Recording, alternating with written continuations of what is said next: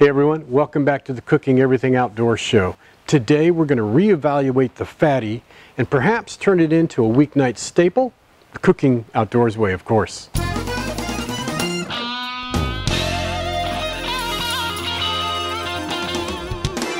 So as you may have noticed over the last several years, I did not jump on the fatty craze.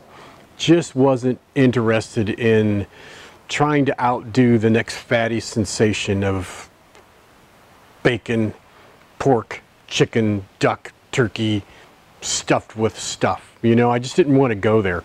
Now, there's been some really great fatties out there. They're, they're, they're really, really good. But they're a heart attack waiting to happen. And I already had my heart attack, so I'm kind of curbing things back a bit these days.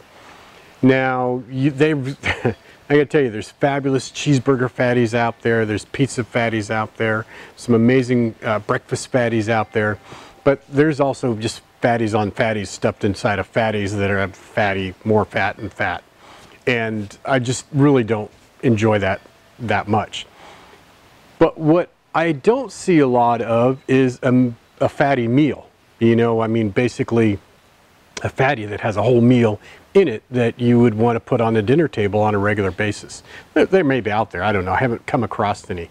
So that's what we're going to do today. I'm going to tone it way back from the fat and then we're going to smoke it on the grill dome and I think you're going to like this recipe because we love it.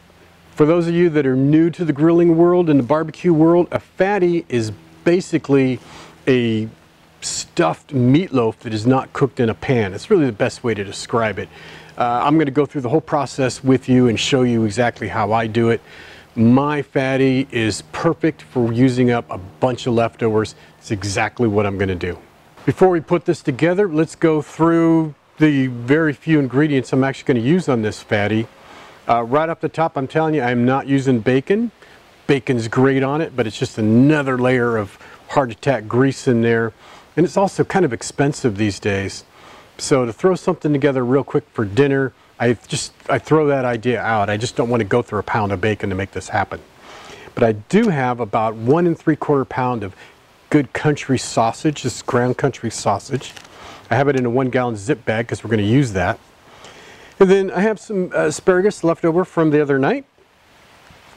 Also this morning I scrambled up some eggs with some bell peppers, onions, and garlic, and I have I made a little bit of extra. So I have a yellow and a red bell pepper julienne with some onions on julienne, and about three cloves of garlic in here. I just sauteed a little butter and olive oil. Also leftover mashed potatoes, skin on for me. That's the way I like them. Uh, that rustic style. There's probably about two cups here. I doubt if I'll use that much. As far as a rub, we're going to use a dry rub on ours. You can also sauce yours up if you want. Entirely up to you. I mean, it's your fatty. You do it how you want to do. But I'm just using some uh, standard Montreal uh, seasoning mix to season mine up. Also, I'll have a pinch of so or salt and pepper. And then to really put it over the top, I'm going to be using some Cabot um, their new shredded cheese, and this is the Two State Farmers New York and Vermont shredded cheddar cheese, and this is one of my favorites. Uh, so we're going to be taking advantage of that and adding it on the inside of that. Strictly optional, but I tell you what, it really makes a difference. In addition to this, you're going to need a pretty good wide uh, sheet of saran wrap or waxed paper. I like saran wrap, it's easier to roll things up with. Um, I'm also going to be cooking this on my grill dome using pecan uh, smoking wood for this. Uh, you can use it in a regular kettle or a gas grill and just add a little bit of smoke if you want. Smoke's optional also. Uh, you can stray away from traditional barbecue as far as you want to on your fatty. I do all the time. Uh, also, you'll need a wireless thermometer. I'm going with my uh, old standby, the iGrill. And what else? Uh, probably some gloves because it gets kind of messy. And other than that, man, let's just do this. I'm to start putting it together. First thing we're want to do is to take our ground pork. You can use hamburger, you could use ground turkey, uh, you could grind up filet mignon if that's what you really want to do. It's your fatty, but I like the country sausage and I think it makes a really good uh, layer. It holds together really well and I just like the way it blends everything together. That's why this is really popular for breakfast because you know the country sausage and, and eggs and cheese and, and bacon and onions and all that stuff is really just spectacular inside a fatty. We're making dinner. So what we want to do is press this out until it's a pretty good even thickness. In this case, it's probably going to end up being about a half inch thick, maybe, maybe 3 eighths. Now that's what we're going to be forming our fatty inside of. This is going to make a nice log or a round, if you will. And to uh, get this going, we're just going to open it up and very simply cut along. Sometimes it tears, but these are pretty good bags, so I don't think that's going to happen.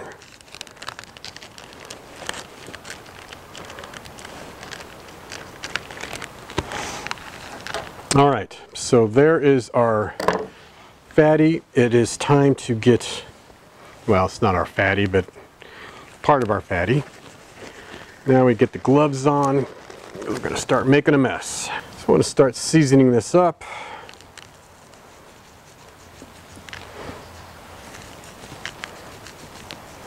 You want to use a traditional barbecue rub. Turns out fabulous. You want to add a little bit of heat to it. Certainly add some if you'd like. Now I'm going to take my big sheet of saran wrap And what I like to do is lay it over the top of that and then I'm going to very carefully not make a mistake on camera and I'm going to flip it over like so. Take my plastic bag out. I'm going to season it on the other side. This is my inside now.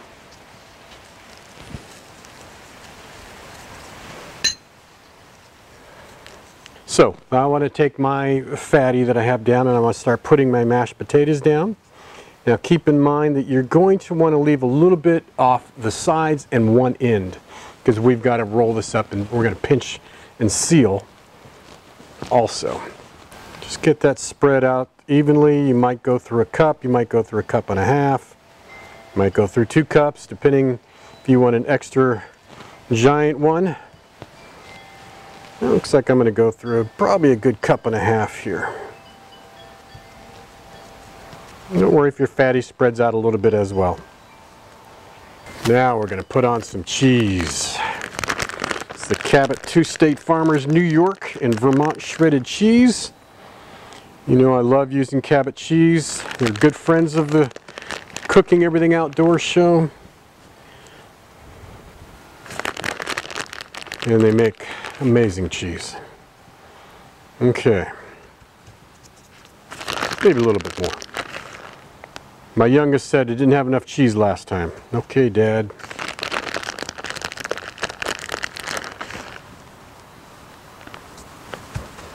Don't tell my cardiologist. So now I'm going to take my asparagus. I'm going to put that inside, just lay it a nice little strip in there. What else could you use besides asparagus? Well, you could probably add uh, some broccoli in there or some cauliflower or green beans. You know, you can make this in a turkey uh, style with the ground turkey, like I did with my meatloaf, my Thanksgiving meatloaf. Get some ground turkey in there. You can get some uh, some uh, stuffing in there. You get some green bean in there, some mashed potatoes. Uh, if I thought about it earlier, I'd be adding a little bit of cranberry to this too, but you know what? That's for the next one of these. And now we're going to add our peppers. And be as generous as you want on this. I like it fairly peppery. Jalapenos would be a good choice also. And then we're going to add our little bit of our pepper. Gives us a little bit more heat. And a little bit of salt in there. And that's it for the ingredients. I didn't say this was non-cardiac free, but you know what? We're doing a pretty good uh, reduction. So we're just going to take and roll this up now. That is always easier than said than done, but I want to use my plastic wrap and I'm going to roll it, trying to keep the insides stay in place. Bring it around to where it's not all falling out. And then very carefully start forming your log. On the end I'm going to squeeze together the country sausage to seal that off. Looks like a little bit sneaking out. Same thing on the other side. We're just going to pinch that in.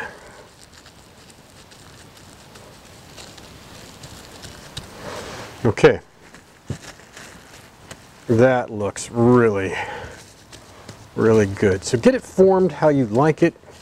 You know, it's going to want to reinvent itself here. What I do quite often is I'm going to unwrap it real quick. Now that I've got my form fairly well made and I want to just turn it long ways. The reason I want to do this is going to be able to pinch this end off or this seam here redo the ends and then I'm going to add a little bit more Montreal seasoning on there.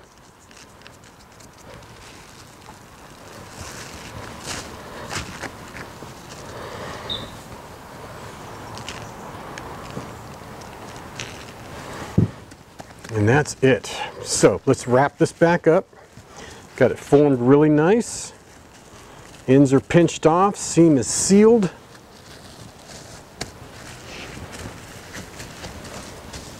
Now for the bad news, this has got to go in the fridge for a couple hours.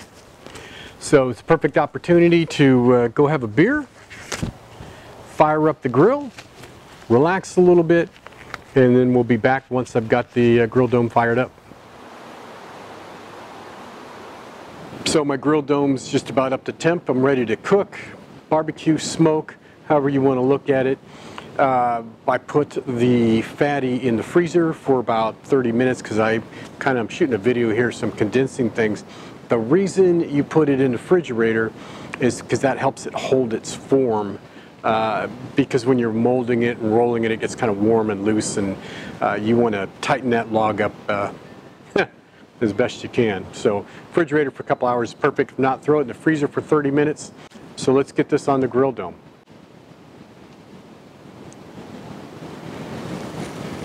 Mm. We have that beautiful pecan smoke going on there. I try to gracefully place this on my grill.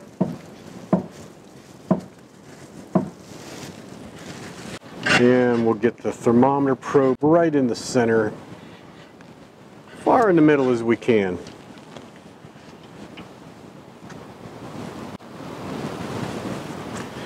So we're going to smoke this for about two hours. I want to bring it up to 165. Because it's stuffed, you do have to cook it to 165 uh, to be safe.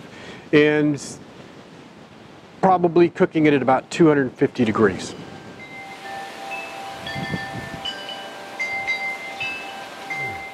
Okay, we've hit 165. Been cooking for almost three hours quite a lot of mass there on that fatty, so let's take a look, see how we did.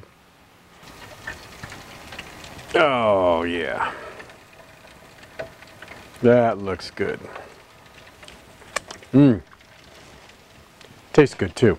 So I'm gonna pull this off, gonna foil it, and let it sit for just a few minutes. Okay, so after about three hours, maybe just a little under three hours, roughly around 250 degrees, a little pecan wood, uh, our fatty revisited is ready to cut open. Let's take a look and see how we did.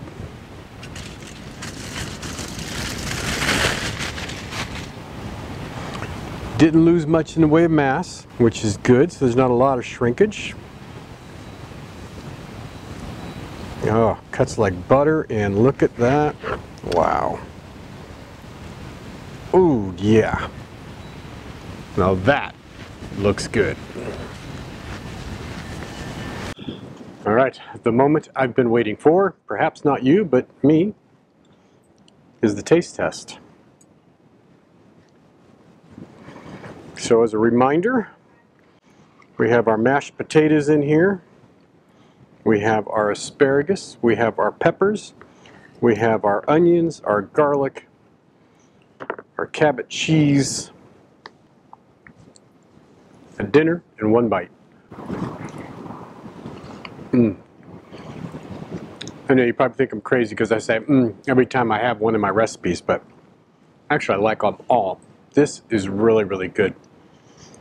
What I love about the fatty concept is, is if you stuff it right, you can have a really a full meal. You make this the day before, throw it on the grill and the next day, and you know, in a couple, two, three hours, you have a fabulous dinner. So rethink the fatty. If you haven't tried it, give it another try, and I think you're going to really, really enjoy it. I know that um, I certainly have a newfound appreciation for a less than a heart attack version of the fatty. And that's it. I will see you when I see you.